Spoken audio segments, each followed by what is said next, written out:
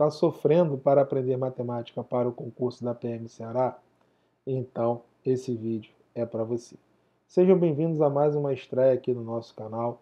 Para quem não me conhece, sou o professor Marcão e junto com o professor Renato Oliveira, através do método MPP, ajudamos nossos alunos a aprender matemática de uma forma rápida, simples e definitiva. Tudo lindo? E nesse vídeo de hoje está aqui, ó, lindão. Aprenda matemática para PM Ceará em poucos minutos. Repete aí na sua casa. Para cima deles e não deixe o inimigo agir. Juntos conseguiremos essa vaga. Eu tenho certeza disso, pessoal. Mas antes de começarmos, inscreva-se em nosso canal e ative as notificações, o famoso sininho. Por quê? Sempre que rolar uma publicação, vai chegar o vídeo para você. Então, ative aí o famoso sininho. E pessoal, não deixe de baixar o material. Baixe o material da aula. Baixando o material da aula já é automático. Você já entra para a nossa lista VIP. E entrando para a lista VIP, você, alô você, vai receber aí no seu e-mail conteúdos gratuitos e exclusivos. Legal? Lindão, né? E agora, pessoal, vamos a mais um depoimento de um membro da família MPP. Esse é o nosso combustível né, é a motivação que nós temos aqui para continuar a nossa caminhada. Por quê, pessoal? Em cada depoimento, nós verificamos, né, ou melhor dizendo, é a prova real, melhor dizendo, é a prova real de que o método realmente funciona. Então vamos lá. Olha que depoimento bacana da Cristiana. Olá, professores. Estou passando para dizer que estou encantada com o método de vocês. E olha, que eu não gosto de matemática e raciocínio lógico, pois vocês ensinam de uma maneira tão fácil e ao mesmo tempo leve. E olha, que já fui aluna de duas instituições que não ensinam com tanta clareza como vocês. Estou maravilhada. Agora eu gabarito nessa matéria e destruo de vez o inimigo. Obrigado por tudo, Cristiana Gomes. Cristiana, muito obrigado pelo seu depoimento. Com certeza, esse depoimento vai incentivar, vai motivar futuros aprovados e aprovadas do meu Brasil. Lindão. E agora, pessoal, vamos dar início à nossa aulinha para cima deles. Vamos lá, vou fazer aqui a transição. Caneta e papel na mão e simbora. Tá aqui as nossas redes sociais. Troco likes e sigo de volta. Vá lá no meu Instagram para a gente trocar uma ideia. E vamos que vamos, pessoal. Tá aqui a nossa primeira questãozinha. Vamos lá, concentração e simbora. Primeira questãozinha de juros. Ó, no período se no período de quatro meses, no regime de juros simples, a quantia de dois mil reais aplicada em uma instituição financeira gera um montante de 2.720, então a taxa mensal de juros praticada por essa instituição é superior a 10%, então, pessoal, entramos naquele esqueminha de julgamento, né? Se o item está certo ou se o item está errado. Qual é o bizu aqui, pessoal? Vamos lá. Rapidex. Se ao analisarmos o item, tá? Se ao analisarmos o item, a resposta for sim, significa que o item está certo. Agora, se ao analisarmos o item, a resposta for não, significa que o item está errado. Beleza? Então vamos lá, pessoal. Qual é a jogada aqui? É uma questãozinha de juros. Qual é a formulazinha dos juros? Primeira coisa é você lembrar da fórmula. Vou colocar aqui, ó. Juros é igual a CIT sobre 100. Essa é a formulazinha dos juros. Capital, ó, capital, taxa e tempo. Aí, na questão, eu tenho que buscar esses elementos. Vamos lá. Tá aqui, ó, C de capital. Então, o capital foi de quanto, pessoal? 2 mil. Tá aqui, ó. O capital foi de quanto? De 2 mil. A taxa eu não tenho. Beleza. O tempo foi de quanto? De quatro meses. E o valor dos juros, Marcão? Os juros, pessoal, é o montante menos o capital.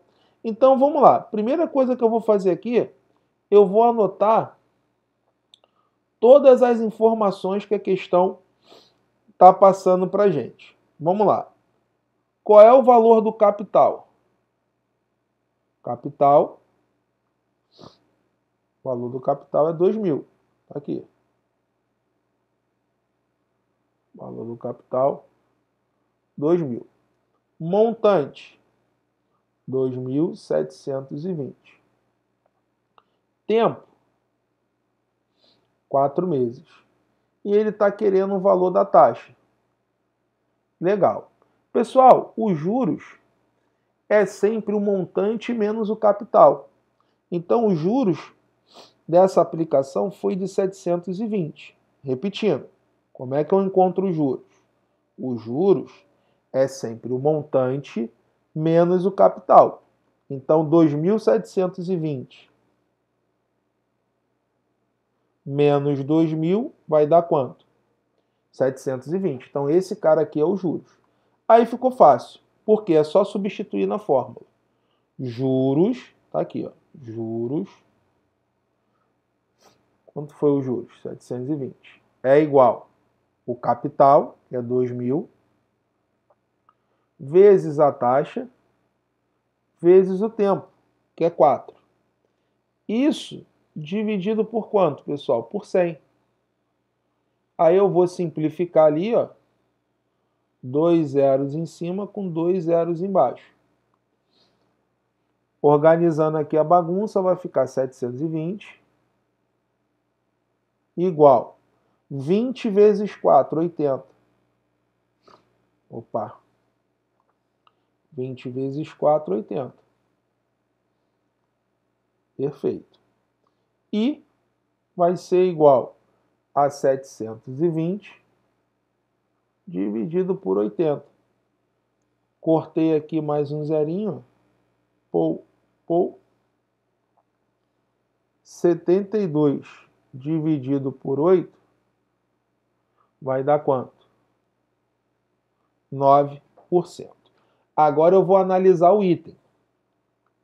Olha o que ele está falando aqui. A taxa mensal de juros praticada por essa instituição é superior a 10%? Não. Se a resposta for não, o item está o quê? Errado. Legal? Então, essa foi a nossa primeira questãozinha. Simbora, passamos aí para a segunda questão. Vamos lá, pessoal, para cima. Para pintar 28 metros de um muro, são necessários sete pintores trabalhando seis horas por dia, durante quatro dias.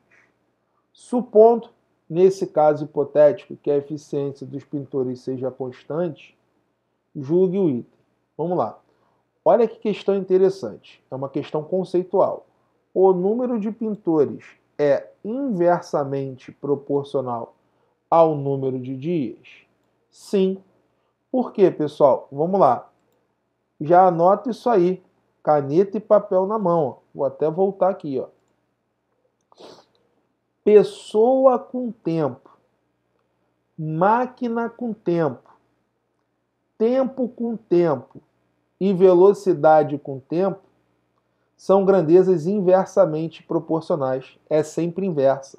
Então, olhando aqui o contexto, pessoal, pintor não é uma pessoa? Sim ou não? Pintor não é uma pessoa? Então, pessoa com tempo é sempre inversa. Por quê? Pintor é uma pessoa e dia é o que, pessoal? Tempo. Essas grandezas, elas são inversamente, sempre, sempre, né? Pessoa com tempo é inversamente proporcional. E tem uma lógica, né, pessoal? Quanto mais pessoas trabalhando, menos tempo você leva na obra, sim ou não? Para concluir o, tra o trabalho, a tarefa, né? Então essas grandezas são sempre o quê? Inversas. Né? Quanto mais pessoas, menos tempo você leva. Se uma aumentou e a outra diminuiu, elas são o quê? Inversamente proporcionais. Então, analisando aqui o item, o número de pintores é inversamente proporcional ao número de dias? Sim. Se a resposta for sim, pessoal, significa que o item está o quê? Certo. Né? Que o item está correto. Perfeito? Questãozinha maneira, né? Conceitual. E se o cara não prestar atenção, ele erra. Simbora aí para a próxima questão. Vamos lá. Suponha-se que uma loja venda determinado refrigerador, olha aí, ó, por trezentos reais para pagamento no cartão de crédito em parcela única na data de vencimento do cartão e que para pagamento à vista o refrigerador saia por dois mil 139. Aí vamos lá, pessoal. Olha aí o item. Um pouquinho resfriado. Vamos lá. O que, que o item está dizendo aí para gente? Simbora. Nesse caso, ó, nesse caso, com relação ao primeiro preço, o desconto oferecido pela loja para pagamento à vista é superior a 8%, então vamos lá. Em relação ao primeiro preço, então a nossa referência aqui é 2,300. Sim ou não? Então, se 2,300 é a nossa referência, 2,300 equivale a quanto? A 100%. E qual seria o desconto que ele teria se ele pagasse à vista em relação a esse preço. Aí é só você diminuir 2.300 menos 2.139. Isso aí vai dar quanto, pessoal? Coloca aí no bate-papo, quero a sua participação. Vamos juntos, tá? Então, se ele pagasse à vista, a pergunta é: qual o descontinho que ele teria em relação ao primeiro preço? Ele teria um desconto de 161 reais. Essa é a pergunta dele. Ele quer saber esse desconto em porcentagem. Então vamos lá. Qual é a jogada aqui, pessoal? 2.300, que é o primeiro preço, isso equivale a 100%. E 161, que é o desconto, vai estar tá para quanto? Para X. Vamos lá. Cruzou, multiplicou. 2,300 vezes X vai dar 2,300X. 161 vezes 100 vai dar 16,100. Legal. Agora, qual é a jogada aqui, pessoal? Tá multiplicando vai passar para o outro lado o quê? Dividindo. Então vai ficar x igual a 16 e 100 dividido por 2,300. Que, que eu vou fazer ali com os zeros, pessoal? Vou passar o facão, não é isso? Tá aqui, ó. Pou, pou, pou, pou. Olha lá, passei o facão. Agora ficamos ali com 161 dividido por 23. Vou organizar aqui a bagunça. Sem trocar muita ideia, 161 dividido por 23 vai dar 7. Cuidado, eu tenho que prestar atenção no item. Nesse caso, com relação ao primeiro preço, o desconto oferecido pela loja para pagamento à vista, está aqui, ó, é superior a 8%, ó, é superior a 8%, ó, nós encontramos aqui 7%. Mas olha o item, é superior a 8%? Não. Se a resposta for não, pessoal, significa que o item está o quê? Errado. Legal? Cuidado com isso, pessoal. Tá? A provinha da PM ela vem nesse estilo e você tem que saber trabalhar com essas questões. Tudo bem? É certo ou errado? Beleza? Então vamos lá. Próxima questãozinha. Perdão, pessoal. Mar tá brabo. Mas vamos juntos nessa. Inimigo tentando agir aqui. Vamos lá. Sobre os números naturais, julgue o item seguinte. A subtração de dois números naturais sempre resultará em um número natural? Ó, questãozinha boba que muita gente erra. Pessoal, deixa até eu voltar aqui. No conjunto dos números naturais, existe apenas dois fechamentos. O conjunto dos números naturais ele é fechado apenas para soma e multiplicação. Ele não é fechado para subtração. Nem sempre a subtração de dois números naturais vai resultar no número natural. Vou te dar um exemplo aqui agora. Ó, 5 menos 2 vai dar 3. Até aí, perfeito. 3 é um número natural. Quem seria o conjunto dos números naturais? Seria o 0, 1, 2, 3, até mais infinito. Esse é o conjunto dos números naturais. Perfeito. Né? Se eu pegar aqui 4 menos 3, vai dar 1. Perfeito. Agora, se eu inverter ali, pessoal, e do menor para o maior, olha o que vai acontecer. Vamos lá, vou colocar aqui um exemplo. 7 menos 9. Quanto é que dá 7 menos 9? Vai dar menos 2. Só que menos 2 é um número natural? Não. Aí, pessoal, esse item está errado. Por quê? Olha o que ele está falando. A subtração de dois números naturais sempre resultará em um número natural? Não. Se a resposta for não, pessoal, o item está o quê? Errado. Legal? Então, cuidado com isso aí, pessoal. Questãozinha boba que muita gente erra na prova de bobeira. Show, show, show. Lindão. Então, vamos lá para a próxima questão. Olha aí, pessoal. Próxima questãozinha. Simbora. Em cada um dos itens a seguir é apresentada uma situação hipotética, seguida de uma assertativa a ser julgada a respeito de juros, divisão proporcional e regra de três. Então vamos lá. Essa questãozinha de divisão proporcional. Opa, o inimigo agindo aqui na nossa aula. Martelada na cabeça. Simbora, cabeça de gelo. Vamos lá. Um empresário dividiu entre três de seus empregados a quantia de 6,600 em partes inversamente proporcionais a 2, 5 e 8. Nesse caso, todos os valores, preste atenção, nessa partilha são maiores que 1.100. Vamos lá, vamos analisar.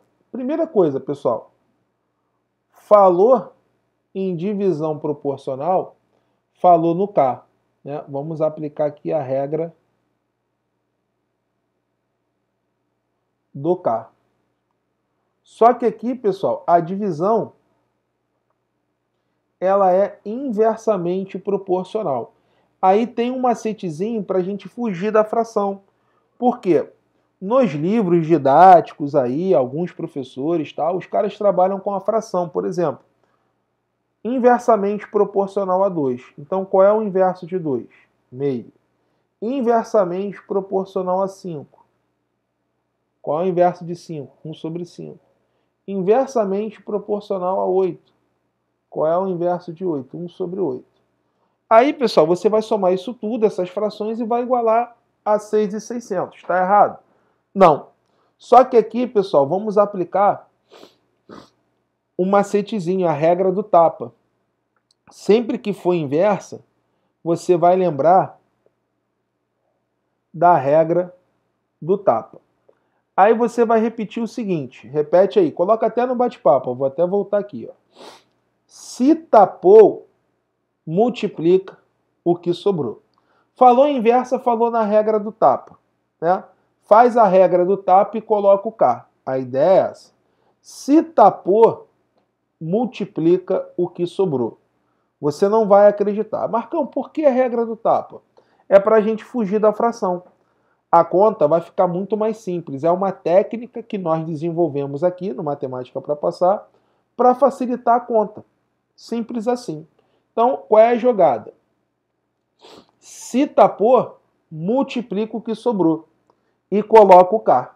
Essa é a jogada. Então, vamos lá para você aprender. Você já está curioso aí para saber como se faz a regra do tapa. Vamos lá.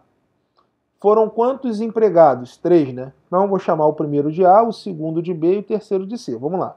O A, inversamente proporcional a 2. O B, inversamente proporcional a 5. E o C, inversamente proporcional a 8. Aí a regra do tapa. Se tapou, multiplica o que sobrou. Tapei o A. Ó, tapei o A. Se eu tapei o A, sobrou o B e o C. Sim ou não? Tapei o A, sobrou o B e o C. Se tapou, multiplica o que sobrou. Então, 5 vezes 8 vai dar quanto? 40. 40 o quê? K. Não pode esquecer do K. Aí vamos lá. Tapei o A. Agora eu vou tapar o B. Ó. Tapei o A.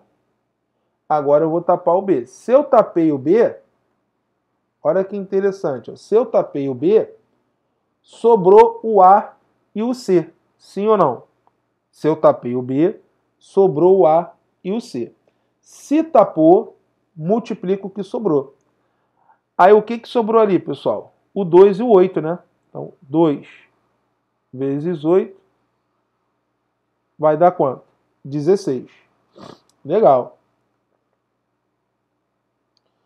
Tapei o A, tapei o B e agora eu vou tapar o C. Tá? Vou tapar o C aqui. Ó, quem é o C?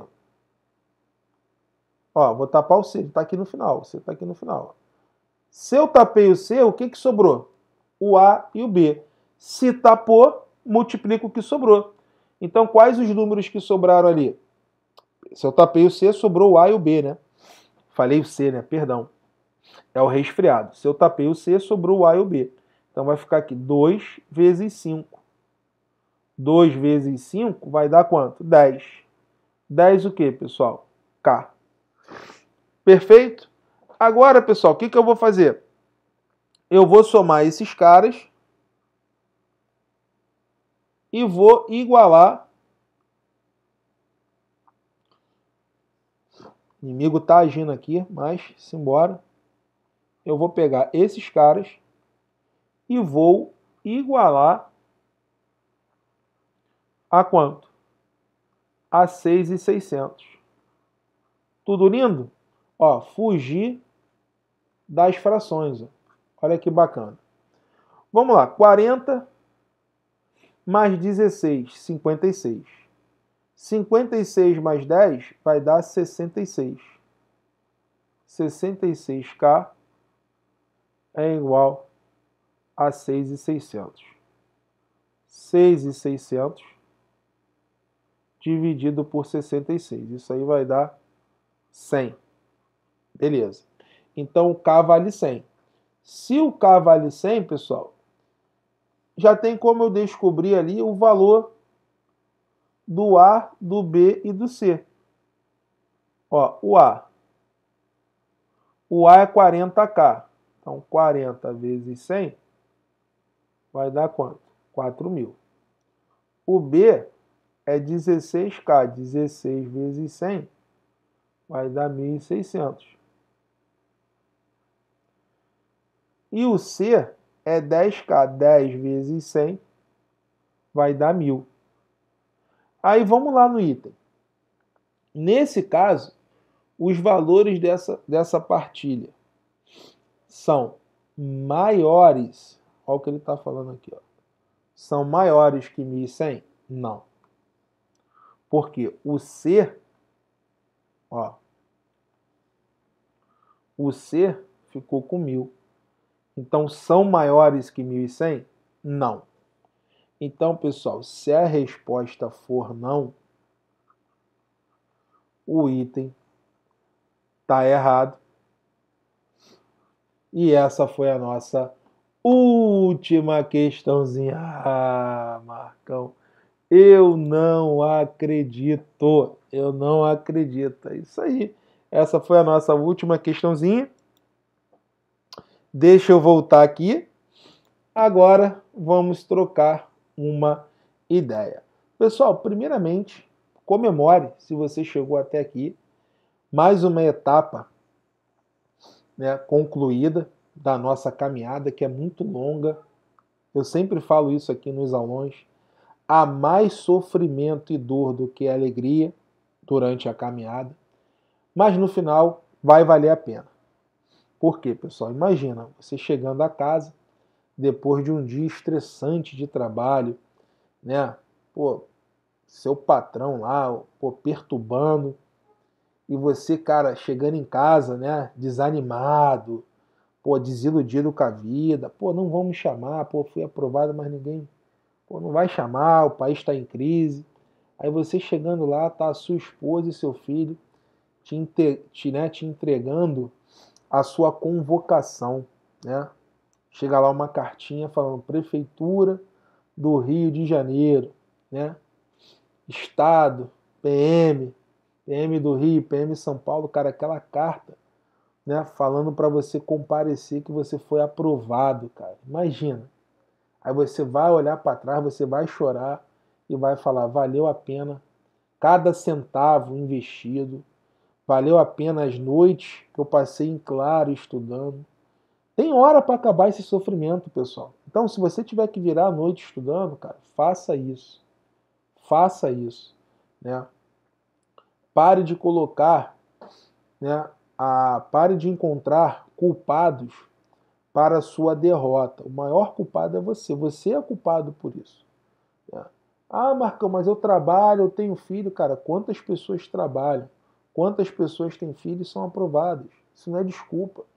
Pelo contrário, você tem que tirar força né, dessa situação. Isso aí tem que te dar, né, essa situação adversa, ela tem que te dar força para você ficar ali estudando e ter a certeza que você vai virar esse jogo. O sofrimento não é eterno. Né? Uma hora vai mudar, cara. Basta você acreditar. Porque antes de ficar bom, vai ficar muito ruim. Mas se você pensa dessa forma, eu estou aqui além da, da, da, de resolver as questões, eu tento te orientar da melhor maneira possível. O melhor investimento na vida, pessoal, é quando nós investimos em nós mesmos. Você só pode ajudar a sua família, você só vai poder ajudar seu filho, primeiramente se ajudando. Essa é a realidade. Então, pessoal, tá aqui, ó. Esse é o seu investimento para mudar a história da sua vida, né? Nosso curso da Polícia Militar do Estado do Ceará. Na descrição do vídeo, pessoal, aqui embaixo, em algum lugar aqui embaixo, tem o link desse curso. Então, primeira coisa que eu vou fazer aqui, eu vou te fazer um convite. clica aqui nesse link, assim que acabar aqui a nossa estreia, clica aqui nesse vídeo, vai lá e assista uma aula gratuita para você ver como funciona o nosso curso, se você realmente vai se adaptar à nossa metodologia de ensino, se realmente o curso vai atender às suas expectativas, então a gente deixa lá uma aula gratuita para você assistir. Depois que você assistir essa, essa aula gratuita, você vai olhar, pessoal, as informações sobre o curso. Lá vai ter tudo que nós oferecemos nesse curso, tudo lá bem explicadinho para você. E também colocamos lá outros casos de sucesso, outros depoimentos de alunos que estudam né, ou que estudaram com a gente. Então, pessoal, clica aqui nesse link, porque se você chegou até aqui, você está interessado, e eu tenho certeza que esse curso vai impactá-los aí de uma forma muito positiva, levando você para outro patamar. Com certeza, eu sempre falo isso, com certeza, os aulões gratuitos que nós colocamos aqui no YouTube ajudam os alunos, isso é fato. Só que somente com esses alunos, pessoal, você não vai passar na prova.